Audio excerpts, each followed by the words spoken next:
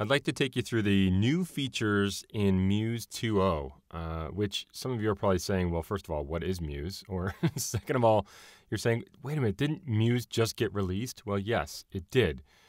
But we're in public beta for the next version, and you can join it if you want to. If you open your version of Muse, you can see the mine says Adobe Muse Beta, you can join the beta. It's a public beta. To join, what you can do is you can open up any site you've got and we've got to get to the help menu. That's the idea here. If you get to help, you'll see help improve Adobe Muse. Choose that. And if you select join the Adobe Muse beta program, what'll happen is when you click OK, the next time it's going to say, hey, there is an update to your program. Do you want to install it? It is going to replace your current version of Muse with the beta version there's good to this and there's bad. Um, you'll see here that uh, it, you can't files created in the beta version cannot be used in any previous versions, which hey, we get that. Um, also, it, it, there could be a few things that are a little buggy. It's still it, it's doing pretty well actually from what I've seen, but it, could be a little buggy. So you just got to understand that that could happen. If you decide that you need to go back to your working version of Muse, your non-beta program version of Muse, you can always come back to this menu, turn this off, click OK and what it'll do is it'll revert back. It'll download the other and install it. So you can do that too.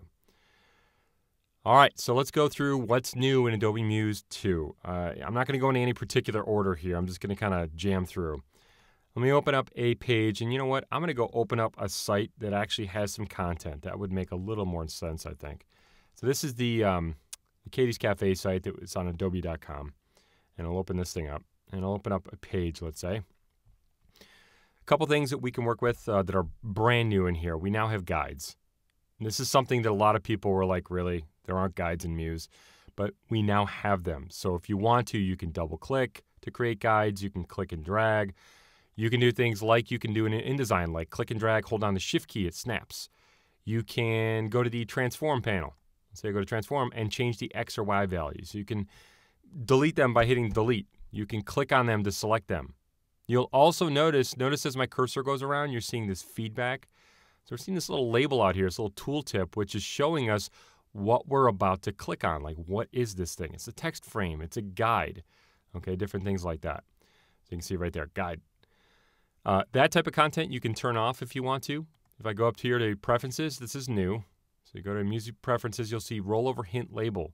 You can turn some of that stuff off if you really want to. We'll also see something new in here called type recent fonts. We will get to that. Let me cancel that. So we do have guides. We also have, let's suppose we have multiple objects here that we want to align. I'll zoom in a bit. Well, if we select them, we now have an align panel. Instead of trying to use smart guides, we can get to the align panel and just align content to each other. We can also align content to what's called the content area. That's the page area or the white box out there, essentially a lot of times you're also going to find that in Muse 2, the next version here, that a lot of the control panel content is now static, meaning it kind of stays in the same place, and there's a lot more up there. So it's trying to fit a lot more. So you'll see things like the word align to go to the align options or text to go to the text options, which is cool because I don't even have to select the text inside to try and change the fonts or, you know, the sizes or different things like that. So that's another nice thing. Speaking of text, if I go in, let's say to visit Katie's here, and I want to change the font, I come up top, you'll see that we now have a new font menu essentially, which allows you to do things like, I don't know, filter by list. You can start to type in something. If you decide that you only know part of the name, like Sans or something like that, you can type in like the end part of it, and it'll still filter for you. We have samples, so you'll see a sample word here. We have the ability to now see each one of these pretty easily. If you click on it, it's going to kind of scroll up to it and show you that content. Uh, there's just tons of stuff in the font list here you can kind of go through yourself, but there's also been a couple fixes, bug fixes, things like that, cross platform, Mac, Windows, as far as fonts are concerned, which is great for me. So we got the Align panel over there. Uh, another great thing is the ability to do what's called asset upload. So if I look at my assets panel over here, I've got a bunch of stuff, and yes, I have a bunch of missing images. That's fine. But suppose that you're working on a file and you go grab some code off the web, and maybe it's this cool slideshow thing. And you don't realize, though, at the time that the slideshow requires these images that they give you, and they require maybe a JavaScript file. Well, we can now do what's called add files for upload. And what that means is anything that we need to get stuff to work, let's say a flash file that needs XML or images, you can now say add files for upload, go choose that, click on the stuff you need to upload, and this is not this is stupid. I'm doing text files. Why would I do that? But anyway, so I'll go grab a couple images for instance. What it's going to do is it's going to associate them with the Muse site file and show you them in the assets panel and say we're going to upload these when you publish the site. So that's pretty cool. Okay. Um, there's been a lot of improvements to code generation as far as how things are created or written, effects, different things like that. JavaScript libraries, things have been changed a bit for the better. One of the big things in here is working with a form. This is really cool. Let me um, let me get rid of some of this stuff. I'll delete it. If I come over to my widgets library panel, you'll see new forms category. We have a longer contact form and a simple contact form. You'll notice this little icon to the right here, this little BC. It's configured to work with Adobe Business Catalyst, which means if you publish from within Muse and you publish and, and use one of your either five included hosting packages or you pay for this using Adobe Business Catalyst, this form will work. Okay? If you export, can't guarantee it's going to work on it. okay? It's it it's designed to work with Business Catalyst. So if I drag it out, you'll see it works like other widgets. It's sort of like a kind of like a big group of stuff you can set options for it, like, oh, what's the name of this thing? I'll call this contact. Who do you want to email this to? It's gonna when somebody hits submit, it's gonna email the stuff in the form to the person's email address you put right here.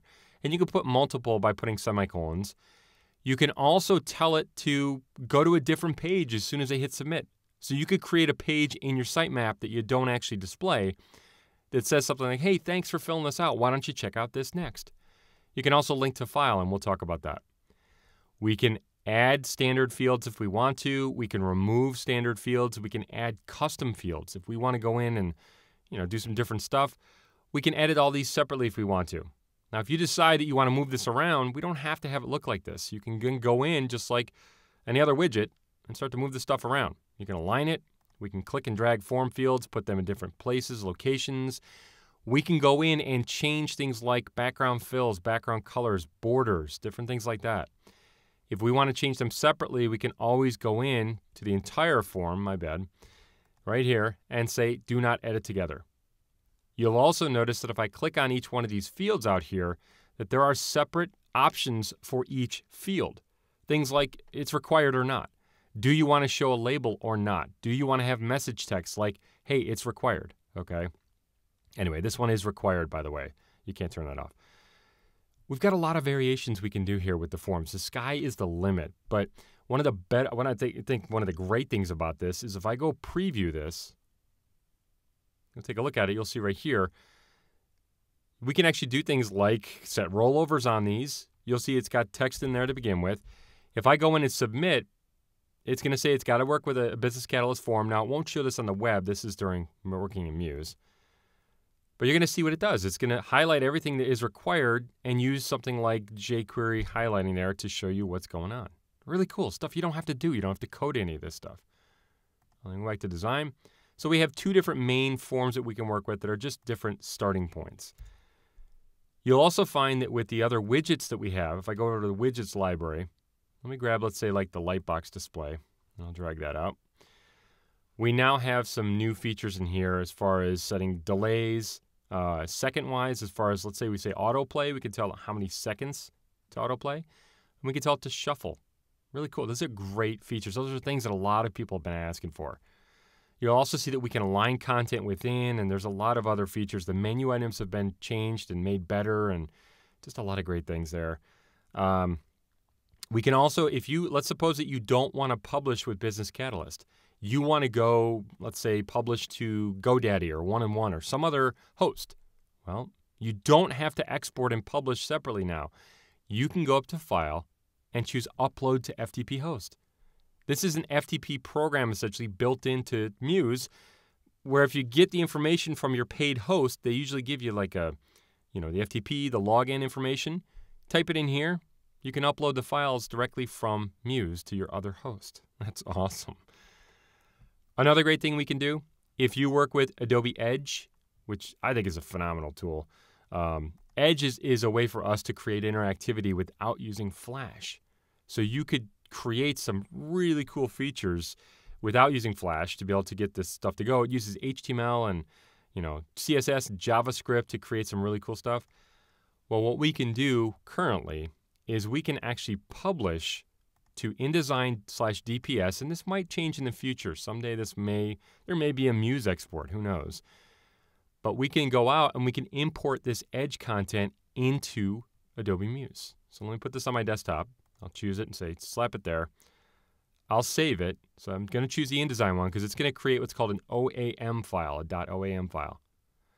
Now I'll save this. I'll go up to File and I'll publish. It's going to save it out. What we can then do is we can go back over to Muse. I can place that file that it creates just like an image.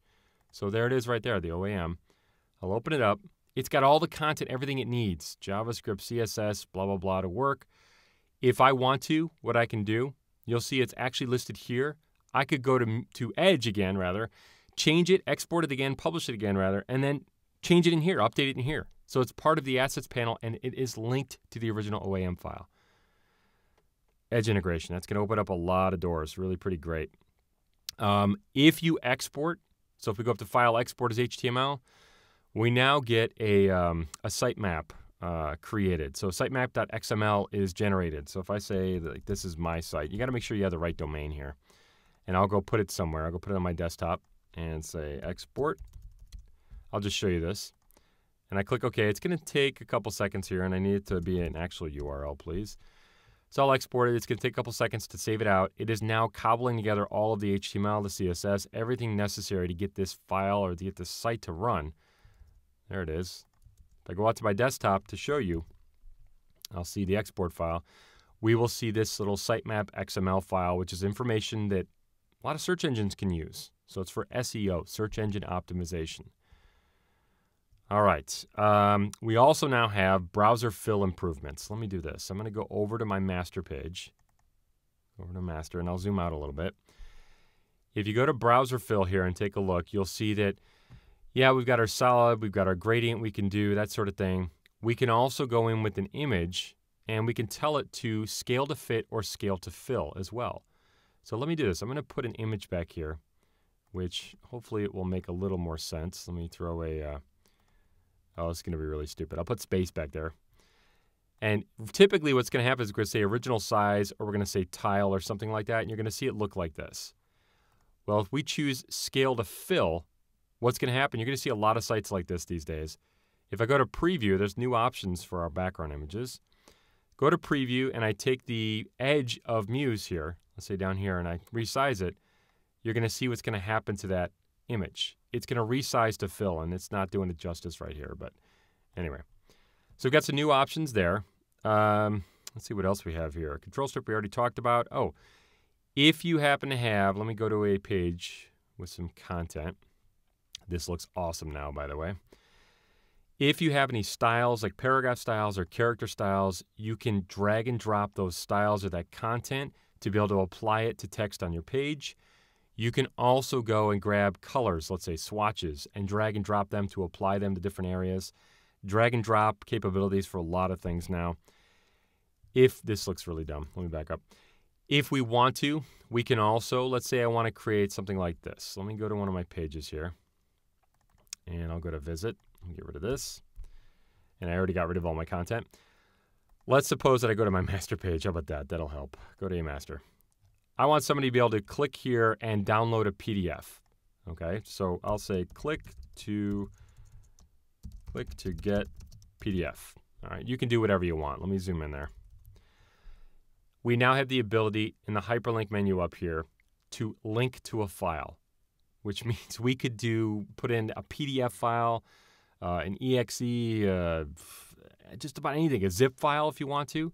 And if I click link to file, and typically I'd have something prepared, but I don't. So I will say the Photoshop file, whatever. I go out to preview the page to show you this. It's going to have a download. So I go click to get PDF. Pretend that was a PDF right there. It's going to say, all right, there you go. Go ahead and download it. So you could have a series of things people could download from your site. Okay. Um, Selection, I already talked to you a little bit about that. Widgets, that's you guys, that's actually most of it. Um, I think I got most of the things that I need to show you. There's a lot of stuff up here. There really is a lot of things, and there's probably a few things that I, I neglected to show you, um, but this is most of it. Uh, and one of the things you'll actually see, I think I did not show this, but you'll see that we now have states up here, so we don't have to go to the states panel to be able to access these to change them, which makes it a little bit easier to be honest. There's a lot of little things like that. Anyway, this is most of what's new and improved in Adobe Muse. You're going to find there's more. This is all the time I have. So if you want to take a look at these before it's out there, don't forget, you can go to your version, version of Muse, you can go to Help, Help Improve Adobe Muse, and join the beta program. It will convert yours to the beta by downloading it. And then you can jump in and start using all the features that I've shown you today.